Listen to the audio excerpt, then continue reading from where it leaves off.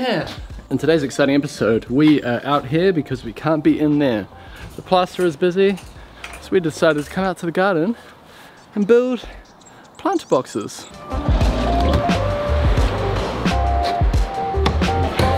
Morning. How are you guys?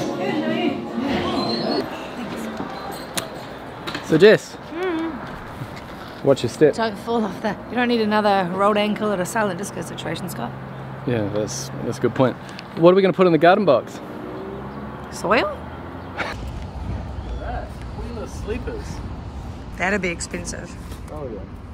Well, probably $109 for one. This is what we want. Much cheaper. Yeah.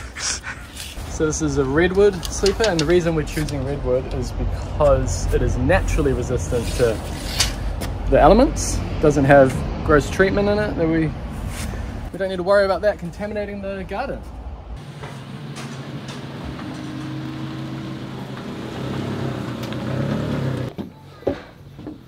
Sorry I'm late mate. you're alright. Couple of uh, slim lines for you. I'll just pop them uh, against the wall here. Plasterer, continuing. We've uh, finished the laundry, so he's able to plaster that now while we build these planter boxes.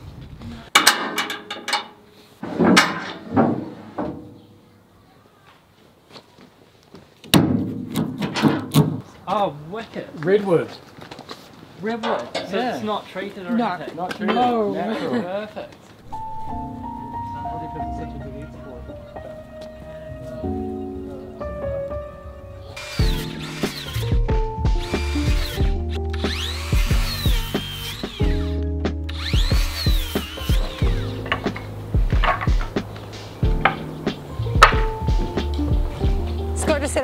Like NPC. He doesn't tell me what to do. I just go back to my programming, which is to weed. I'm not an NPC, Scott. So, what we have here is the original veggie garden, which is very much uh, organic in shape, which we like. And in between that veggie garden and this big tree over here is where we want to put the planter boxes. The actual space that we got to work with here kind of is limited by this, the start of the bark, I would say. I think we just center it. What do you think? I got 2.8. So 1.4. That would be where it sits. From there to there. Oh, isn't that, that's way too narrow. I thought we didn't want such a narrow passageway. So this is, yeah, this is what it would be like. Are you sure what you had lying on the ground was way smaller than us? No, no, it's all perception. It's all perception. Yeah, look, there's Alright. 0.9. And this is approximately how high they'll be, eh? Uh, good question. So we made it four rows. That will be 800, which is just above this. So 100 mil above this. If I have to reach. So it'd be a bit higher. Yeah, that. that's, I mean, I could probably go a little bit wider, but then we're using way more timber and it's going to cost even more. So we should just stick with this.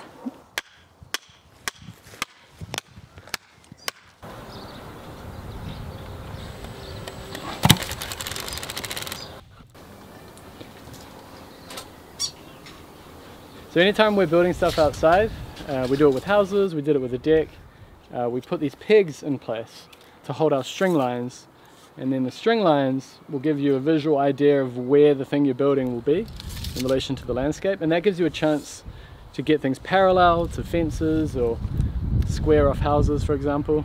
Sorry about the wind. So in this case we are kind of going parallel with this planter edge across here.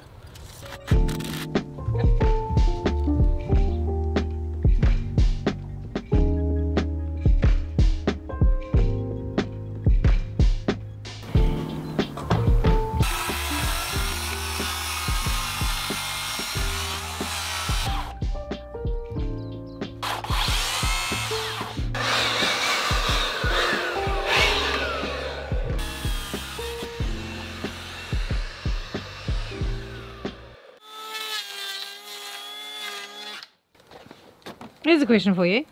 Yeah, Do they have to be perfectly straight? that helps. But do they? But do they have to? No.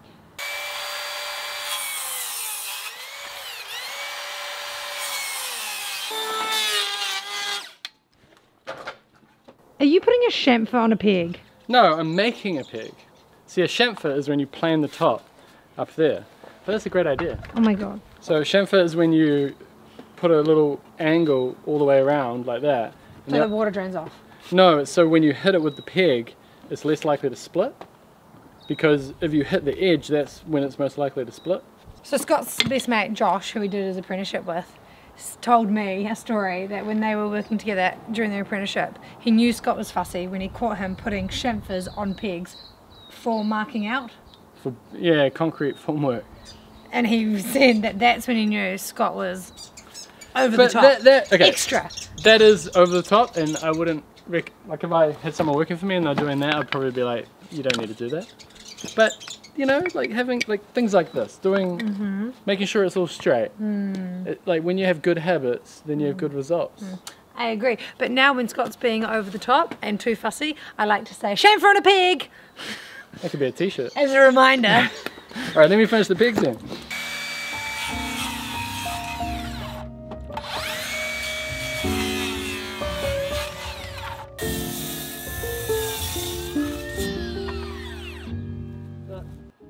This is the deepest circular saw I have, and I've just come to the realization that it's still not deep enough.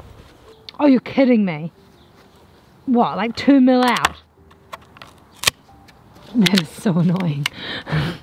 I have a feeling that these planter boxes are going to be a challenge to your um, particularness.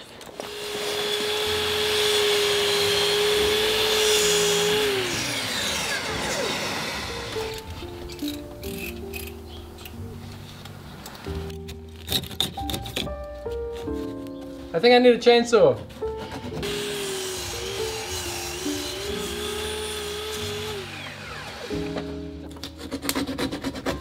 That's what we have to do every cut.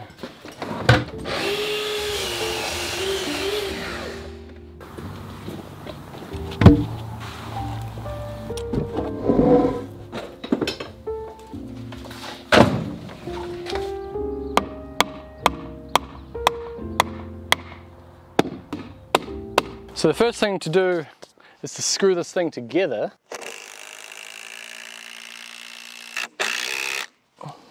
Whoa, that's a lot of water.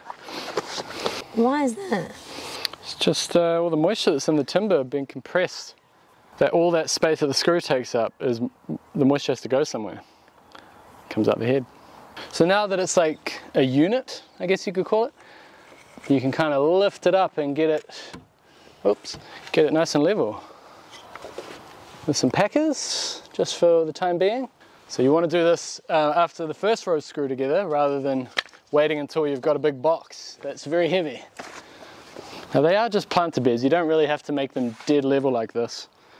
But because they're rectangle structures, I feel like if they're level, out of level and there's two of them connected like this, you're going to see it.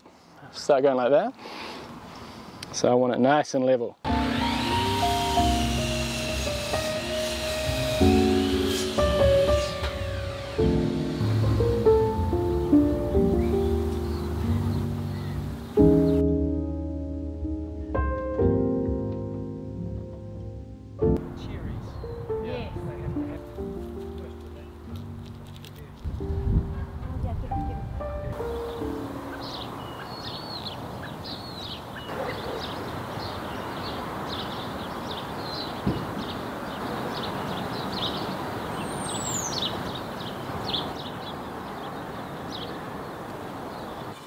So these are two parts of what is going to make up a sash, window sash. It was made by a local joinery company. How nice is that? And what doesn't come across is how beautiful it smells. Now I was warned to not completely push this joint in because I'll never get it out.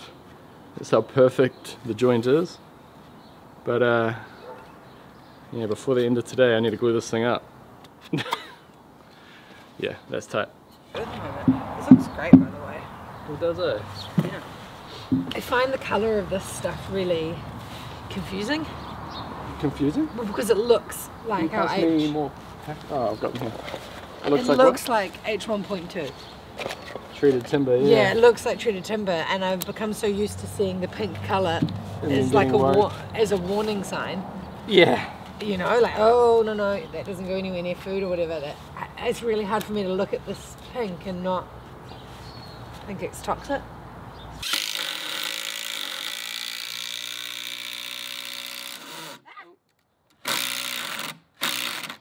bit more. Oh, too much. You're going to have to define a bit more.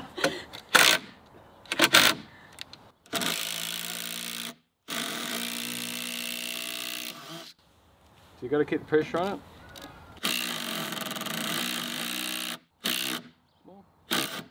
Oh, push it down more. Yeah. How, how do you know what point to push it to? Um, well, I was looking at the gap. So that was, it still had a gap in between. Yeah. And when you did that last little tweak, it tightened it. So that's what we're trying to do. We're trying to tighten the gap. Little things like that. Someone who's been doing this for 20 years? No. Um, in the 20th year now, yeah. Gosh, really? Yeah, I'm getting old.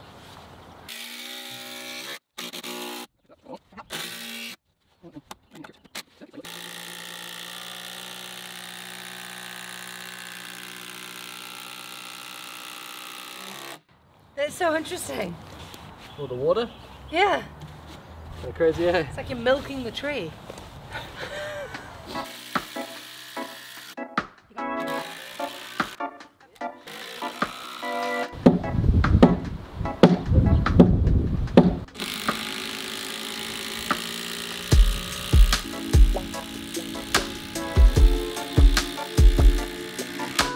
So I was screwing in this long screw and then it just stopped abruptly. Can't screw it in anymore. And the reason for that is, look at that, big fat knot. So that's obviously a break in the grain where the timber gets a lot more dense. Not only can I not screw it down, I can't take it out. So it's just jammed in the knot. Yeah, That's crazy. it's not ideal. All right, mm. here's the last resort.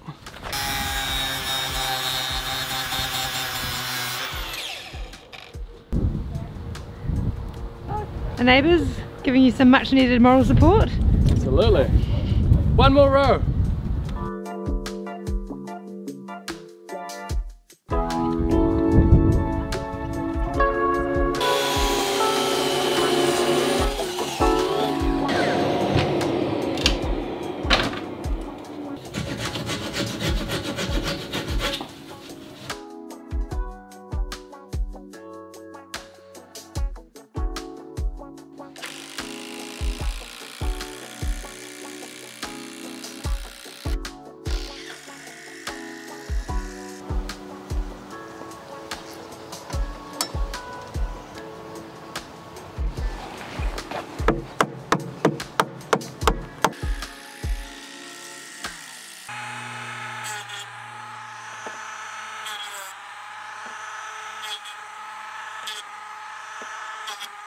So this is where the pegs come in, the pegs that I prepared earlier.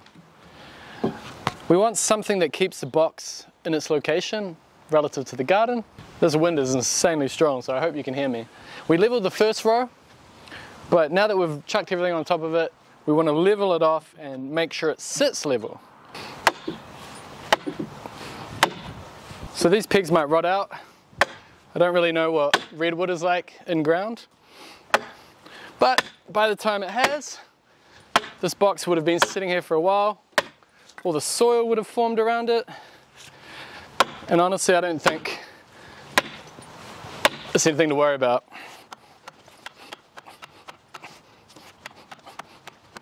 Even with the chamfer, still splits. Ah. Now the other thing the pigs can do is hold that top row and prevent me from having to screw down through the top.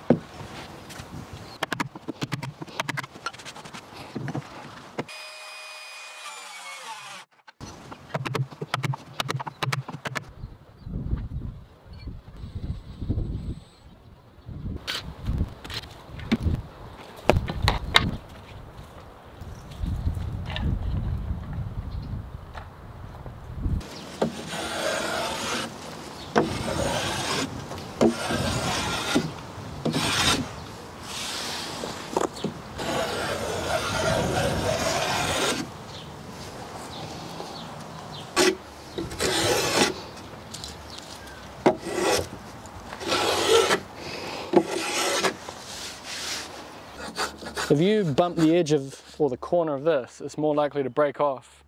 If it's a sharp edge, if you take off that corner with a chamfer, it's just like the peg. You take off the corner with a chamfer, it's less likely to break. It's a method to my madness, Jess. So you did a chamfer on a peg. Maybe. Where's the peg? They're on the ground there. Are, are those pegs? Yeah. Scott Brown, chamfer on a peg. Yes, this exciting episode is brought to you by Squarespace. Squarespace is a website building platform that will help you stand out and succeed online. You may be selling a physical product or you may be selling services like carpentry. Either way, you can do it all on Squarespace. Squarespace have built-in e-commerce tools. You can scroll through a whole wide array of templates that match your style and match the look you're going for. And then all you gotta do is drag and drop your information in there, your pictures, your text, and make it your own. And you don't need to know how to do code to do all of that. That's why I really like it. And of course I like it because they sponsor our channel, but Jess and I also use Squarespace to set up our own website, scottbrowncarpentry.com. So they have heaps of templates that look great. You don't need to know how to do code. You can set up your own domain name within Squarespace as well. And the drag and drop functionality makes it super easy. So it's pretty much a no-brainer. But you don't have to take my word for it. Squarespace also offer a free trial, so you have nothing to lose. And then once you're ready to launch your own website, make sure you go to squarespace.com forward slash Scott Brown Carpentry, and then you can save 10% off your first purchase of a website or domain. So the toilet window, and I'm gonna use this Gorilla Grip here. Set a little bit on the tenon, but you can't go crazy.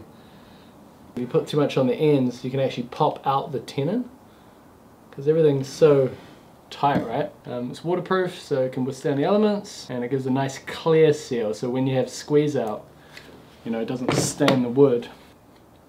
Um, I actually managed to damage the corner of some of this, but it's going to be painted, so not a problem. oh, like a glove. The next sashes that are arriving will be for the kitchen window, which is what we're working on, right? That's the room we want to get done.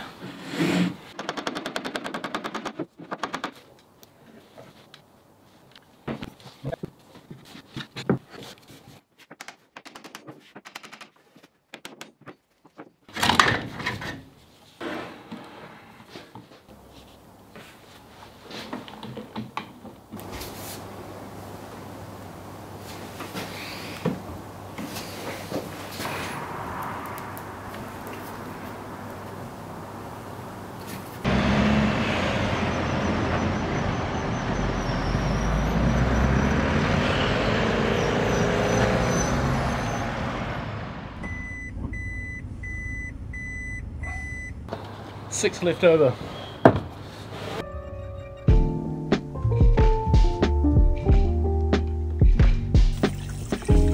What's going on here, Jess? No. You're bathing your twigs. Yeah, they just seemed a bit dirty. And we're gonna chuck them in the bottom of the planters and use like a concept called Hügelkultur, which is just German for hill culture. But basically the idea is you layer trunks and branches and sticks and then heaps of uh, leaf and greenery and nitrogen and then I think maybe some leaves and then topsoil and then compost and then straw and then you plant directly into it and the idea is that over time everything kind of breaks down and you don't have to spend all this money to fill those up with soil because that's a lot of soil and it's also a great way to get rid of the garden waste without having to pay for it. However, it's best to use rotting logs, which I don't have. So I've been chatting with a biodynamic compost consultant.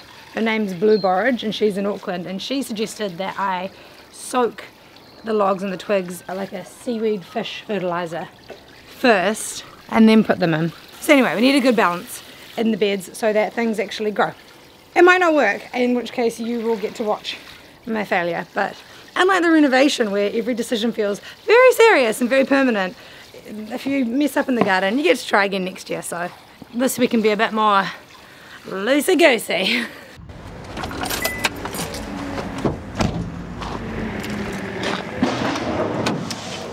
None. No topsoil. That's the second place. Um, apparently this isn't the type of ye- time of year to get topsoil. too wet. Apparently, they have to screen it for stones and other things that are in it. And when the soil is wet, they can't do that. I'm gonna have to move the van. Um, we'll get some compost while we're here, and then we'll go back and see what we can do.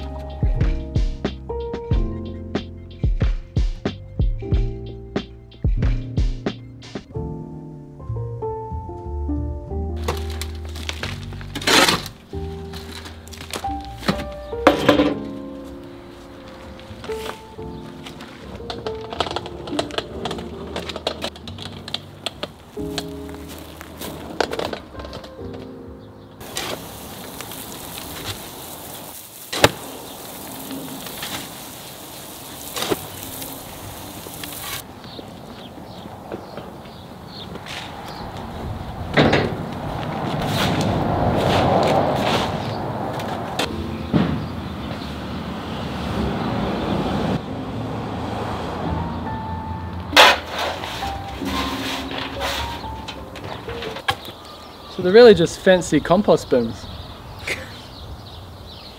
Yeah. Couldn't get any topsoil for four weeks, apparently, until uh, things get a bit drier. So yeah, compost bins. You weren't planning to plant anyway, were you? No, not until spring. The idea is that this should break down like compost and then we'll just chuck topsoil on top. However, I think we should still put more. I mean, these aren't even half full.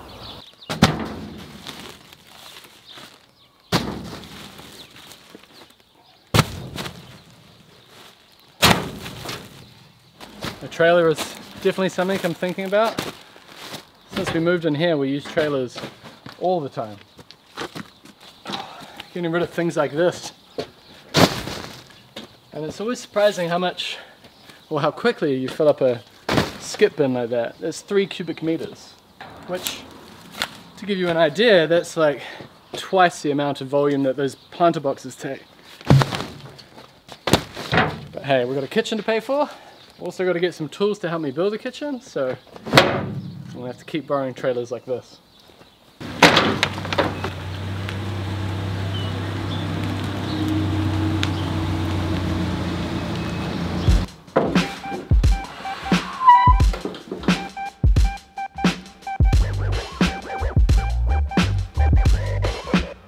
This is where I'm editing this week's exciting episode.